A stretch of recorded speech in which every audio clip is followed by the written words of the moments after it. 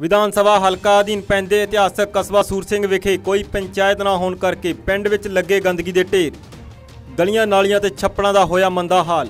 ਪਿੰਡ ਦੇ ਲੋਕ ਨਰਕ ਭਰੀ ਜ਼ਿੰਦਗੀ ਜਿਉਣ ਲਈ ਹੋ ਰਹੇ ਨੇ ਮਜਬੂਰ। ਪਿੰਡ ਵਾਸੀਆਂ ਨੇ ਸਰਕਾਰ ਨੂੰ ਲਾਈ ਗੁਹਾਰ ਕਸਬਾ ਸੁਰ ਸਿੰਘ ਵਾਲਾ ਵੱਲ ਵੀ ਦਿੱਤਾ ਜਾਵੇ ਧਿਆਨ। ਆਓ ਤੁਹਾਨੂੰ ਸੁਣਾਉਂਦੇ ਹਾਂ ਕੀ ਇਹ ਸਾਰਾ ਮਾਮਲਾ। ਕੀ ਨਾ ਭਾਈ ਤੁਹਾਡੇ? ਮੇਰਾ ਨਾਮ ਸੁਖਦੇਵ ਸਿੰਘ ਜੀ। ਕੀ ਮਸਲਾ ਹੈ ਸਾਰਾ ਇਹ ਪਿੰਡ ਦਾ? ਮਸਲਾ ਇਹ ਹੈ ਵੀ ਸਾਡੇ ਪਿੰਡ ਦਾ ਇਸ ਵੇਲੇ ਵਾਲੀ ਵਾਰਸ ਹੀ ਕੋਈ ਨਹੀਂਗਾ ਜੀ। ਜਿਹਦਾ ਕਰਕੇ ਸਾਰੇ ਐ ਸੰਗਤ ਨੂੰ ਮੁਸ਼ਕਲ ਦਾ ਸਾਹਮਣਾ ਕਰਨਾ ਪੈ ਰਿਹਾ। ਇੱਕ ਤੇ ਸਾਡੇ ਸਰਕਾਰੀ ਹਸਪਤਾਲ ਆ, ਉਥੇ ਉਹਦੀ ਪ੍ਰਾਪਰਟੀ ਜਿਹੜੀ ਬਾਹਰ ਚਾਰ ਦੀਵਾਰੀ ਦੀ ਕੰਧ ਕੀਤੀ ਹੋਈ, ਉਹ ਕਿ ਤੋੜ ਕੇ ਤੇ ਜਿਹੜੇ ਟੱਪਰੀਵਾਸ ਉਹਨਾਂ ਨੇ ਆ ਕੇ ਨਜਾਇਜ਼ ਕਬਜ਼ਾ ਕੀਤਾ ਆ।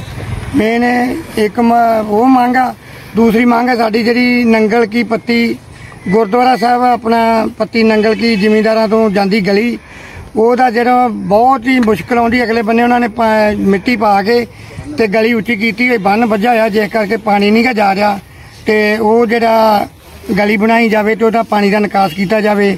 ਦੂਜੀ ਮੇਨ ਪ੍ਰੋਬਲਮ ਆ ਸਾਡੇ ਜਿਹੜੇ 1954 55 ਤੋਂ ਜਦੋਂ ਦੀ ਸੁਰ ਸਿੰਘ ਦੇ ਵਿੱਚ ਲਾਈਟ ਆਈ ਆ, ਉਦੋਂ ਦੀ 11 ਕੇਵੀ ਲਾਈਨ ਖਿੱਚੀ ਹੋਈ ਆ, ਜੋ ਕਿ ਹਲੇ ਝੁੱਕ ਕੇ ਲੋਕਾਂ ਦੇ ਮਕਾਨਾਂ ਦੇ ਨਾਲ ਲੱਗੀ ਹੋਈ ਆ।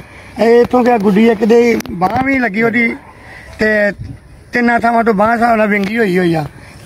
ਤੇ ਇੱਕ ਆ ਛੱਪੜ ਆ ਇਹ ਛੱਪੜ ਦੇ ਸਾਡਾ ਵਿਚਾਰ ਇਹ ਸੀਗਾ ਵੀ ਇਹਦੀ ਖਦਾਈ ਕਰਕੇ ਪਾਣੀ ਇਹ 'ਚ ਜਮ੍ਹਾਂ ਹੋ ਜੇ ਤੇ ਇਥੋਂ ਸੀਵਰੇਜ ਪੈ ਕੇ ਤੇ ਡਰੇਨ ਇਥੋਂ ਕੋਈ 1.5 ਕਿਲੋਮੀਟਰ ਆ, ਉਹਦੇ ਵਿੱਚ ਪਾਇਆ ਜਾਵੇ।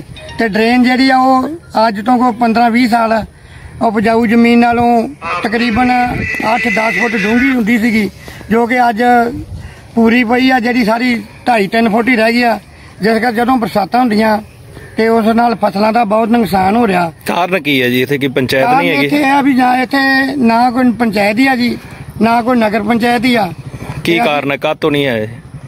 ਕਾਰਨ ਇਹ ਹੀ ਆ ਜੀ ਪਹਿਲਾਂ ਤਾਂ ਕਹਿੰਦੇ ਸੀ ਐਮਐਲਏ ਸਾਹਿਬ ਕਹਿੰਦੇ ਸੀ ਕਿ ਵੀ ਅਸੀਂ ਤੁਹਾਨੂੰ ਨਗਰ ਪੰਚਾਇਤ ਬਣਾ ਦਿੰਨੇ ਆ ਤੇ ਨਗਰ ਪੰਚਾਇਤ ਜਦੋਂ ਸਿਰੇ ਚੜ੍ਹਨ ਲੱਗੇ ਮੁੜ ਕੇ ਮਹਿਕਮਾ ਜਿਹੜਾ ਜਿਹੜੇ ਮੰਤਰੀ ਸਾਹਿਬ ਕੋਲੇ ਸੀਗਾ ਉਹਨਾਂ ਤੋਂ ਮਹਿਕਮਾ ਉਹਨਾਂ ਨੇ ਲੈ ਲਿਆ।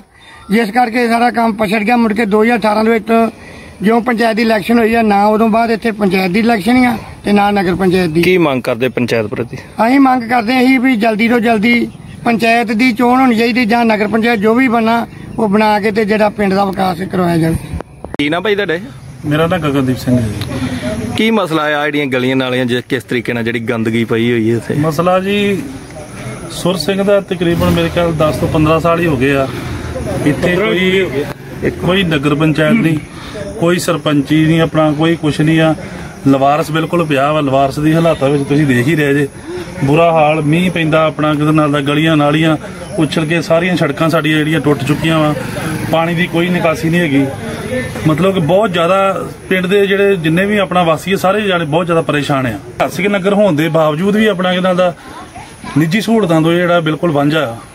ਨਹੀਂ ਪੰਚਾਇਤ ਜਿਹੜੀ ਹੈ ਰੱਦ ਹੋਈ ਕਿੰਨਾ ਚਿਰ ਹੋ ਗਿਆ ਇਸ ਨੂੰ? ਪੰਚਾਇਤ ਜੀ ਇਹ- ਇਸ ਵਾਰ ਤਾਂ ਸਾਡੇ ਚੋਣਾਂ ਹੋਈਆਂ ਹੀ ਨਹੀਂ। 18 ਤੋਂ ਨਹੀਂ ਹੋਈ ਠੀਕ ਹੈ ਜੀ 2018 ਤੋਂ ਜਿਹੜੀ ਵਿਧਾਨ ਸਭਾ ਦੀ ਇਲੈਕਸ਼ਨ ਹੋਈ ਆ ਉਸ ਤੋਂ ਬਾਅਦ ਸਾਡੀ ਚੋਣਾਂ ਹੋਈਆਂ ਹੀ ਨਹੀਂ ਆਪਣਾ। ਕੀ ਸਰਕਾਰ ਤੋਂ ਕੀ ਮੰਗ ਕਰਦੇ ਤੁਸੀਂ? ਮੰਗ ਸਾਡੀ ਇਹੋ ਹੀ ਹੈ ਜੀ ਵੇਖੋ ਅਹ, ਇੰਨਾ ਇਤਿਹਾਸਿਕ ਨਗਰ ਹੋਣ ਦੇ ਬਾਵਜੂਦ ਇੰਨੇ ਇੱਥੇ ਆਪਣਾ ਮਤਲਬ ਕਿ ਹਰ ਪੱਖੋਂ ਹੀ ਮਹਾਂਪੁਰਸ਼ਾਂ ਦਾ ਆਪਣਾ ਕਿਦਾਂ ਦਾ ਇਲਾਕਾ ਵਾ ਕੋਈ ਸਰਪੰਚ ਨਹੀਂ, ਕੋਈ ਪੰਚ ਨਹੀਂ, ਅਸੀਂ ਤੇ ਸਰਕਾਰ ਕੋਲੋਂ ਇਹੋ ਹੀ ਉਮੀਦ ਕਰਦੇ ਹਾਂ ਕਿ ਕਿਸੇ ਦਾ ਕਿਸੇ ਤਰੀਕੇ ਨਾਲ ਸਾਡੇ ਪਿੰਡ ਦਾ ਕੋਈ ਵਾਲੀ ਵਾਰਸ ਸਾਨੂੰ ਦਿੱਤਾ ਜਾਵੇ, ਜਿਹਦੇ ਕੋਲ ਅਸੀਂ ਆਪਣਾ, ਆਪਣੀ ਜਿਹੜੀ ਆ ਗੱਲ ਆਪਣੇ ਪਿੰਡ ਦੇ ਮਸਲੇ ਜਿਹੜੇ ਉਹ ਰੱਖੇ ਜਾਣ, ਕਿਉਂਕਿ ਨਾ ਕੋਈ ਰੂੜੀ ਸੁੱਟਣ ਨੂੰ ਕੋਈ ਜਗ੍ਹਾ ਹੈਗੀ ਆ, ਸੜਕਾਂ ਦੇ ਉੱਪਰ ਆਪਣਾ ਕਿਦਾਂ ਦਾ ਲੋਕਾਂ ਨੇ ਜਿਹੜੀਆਂ ਵਾ ਰੂੜੀਆਂ ਸੁੱਟੀਆਂ ਵਾ।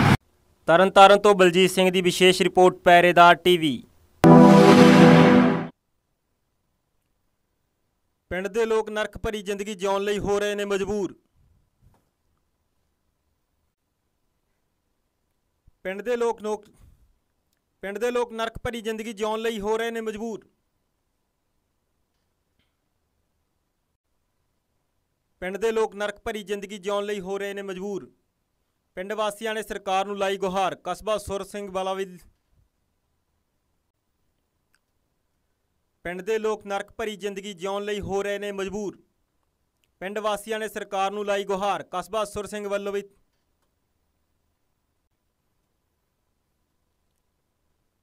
ਪਿੰਡ ਵਾਸੀਆਂ ਨੇ ਸਰਕਾਰ ਨੂੰ ਲਾਈ ਗੁਹਾਰ। ਕਸਬਾ ਸੁਰ ਸਿੰਘ ਵਾਲਾ ਵੱਲ ਵੀ ਦਿੱਤਾ ਜਾਵੇ ਧਿਆਨ। ਆਓ ਤੁਹਾਨੂੰ ਸੁਣਾਉਂਦੇ ਹਾਂ ਕੀ ਇਹ ਸਾਰਾ ਮਾਮਲਾ।